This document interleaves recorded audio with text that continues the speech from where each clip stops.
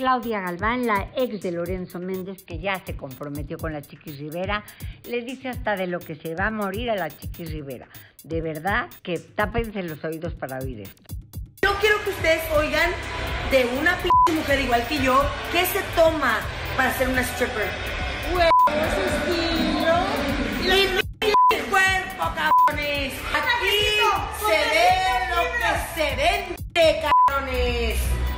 Y tú, aunque estés gorda, flaca, si no lo tienes, no lo tienes. Y la chiquis no lo tiene, mi amor. ¡Ni volviendo a nacer! Ni ¡Diciendo volviendo a nacer. Diciendo hija de la Mira.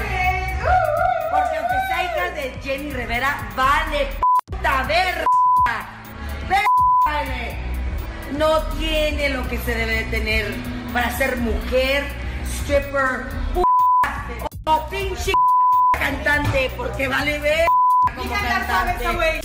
La Chiquis Rivera y Lorenzo Méndez confirman boda en el programa hoy. Hola, niño, ¿para cuándo? Eh, eh, eh. ¿Ya te dio el anillo?